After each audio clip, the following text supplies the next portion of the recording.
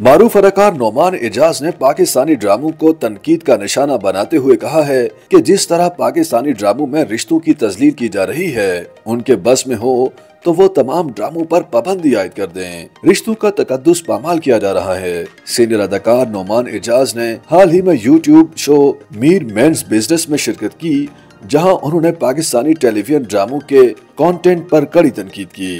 नोमान एजाज ने कहा कि आजकल टीवी ड्रामों में माँ, बहन, सास को चुड़ैल के तौर पर दिखाया जा रहा है। भाई और बाप को विलन के तौर पर दिखाया जा रहा है। रिश्तों का तकदस पामाल किया जा रहा है। उन्होंने कहा कि किरदारों को इतना मनफी दिखाया जा रहा है कि इसका असर हमारे माशरे पर हो रहा है। जब कोई चीज़ देखते हैं तो ना चाहते हुए उसका असर इंसान के शौर पर होता है। जो बात समझने की है लोग इसको नहीं समझ रहे। जिस ड्रामे को सबसे ज़्यादा मनफी दिखाया जाता है, उसे ही सुपर हिट कर दिया जाता है। माशरे में मनफियत फैल गई है, जिसे तब्दील करने की ज़रूरत है। अपनी मिसाल देते हुए नोमान एजाज ने कहा कि वो जिन ड्रामों का हिस्सा बनते हैं, उनकी कोशिश होती है कि नाजरीन उस ड्रामे को देखकर कोई सबक सीखें। अगर ड्रामे में मुस्बत बात नहीं होती तो वो उन ड्रामों का हिस्सा नहीं होते। वो गैर ज़रूरी डायलॉग्स नहीं बोलते।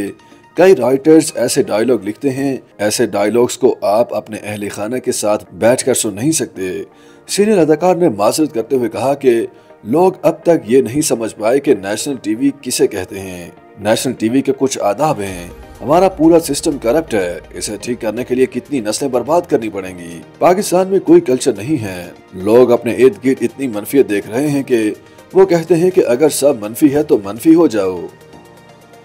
YouTube पर गूगली न्यूज़ देखने के लिए youtube.com की सर्च बार में गूगली न्यूज़ टीवी टाइप करें। गूगली न्यूज़ के पेज पर सुर्ख रंग के सब्सक्रिप्शन वाले बटन पर क्लिक करना ना भूलिए। YouTube पेज पर अपलोड होने वाली वीडियो से बाखबर रहने के लिए बेल आइकन पर क्लिक कीजिए। आपको हर नई वीडियो के बारे में नोटिफिकेशन मौसू हो जाएगा।